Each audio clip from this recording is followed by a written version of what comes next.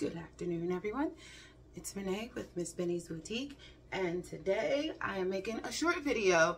It's really just of the ingredients. Um, I'm actually making some lemon and turmeric whipped body butter, but the video really would be too long to make um, the entire body butter, so I'm just going to show you really what I put into it. Um, so we're going to start with shea butter.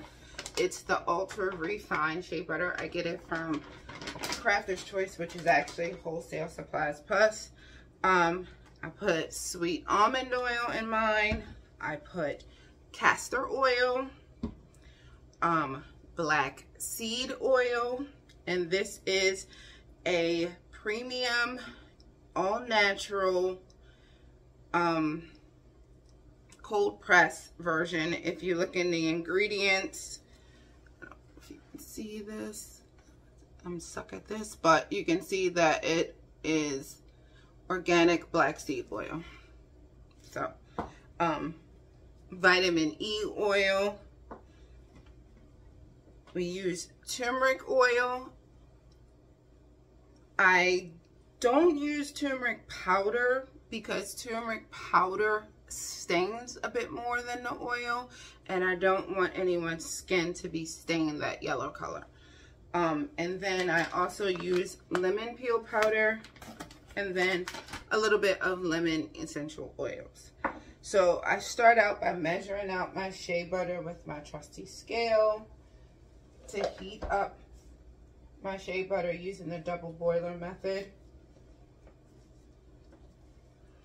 And then um, I start my process from there.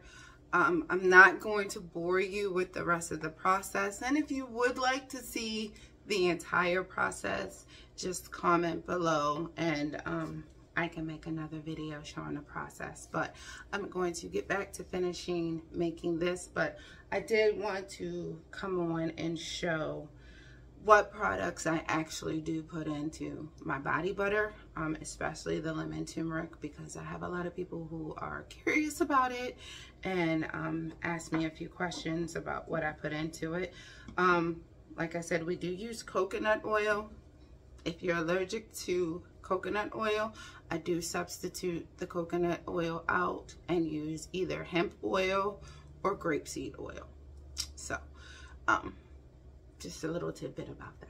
So thanks for joining in, Renee, and I'll see you next time. Thanks.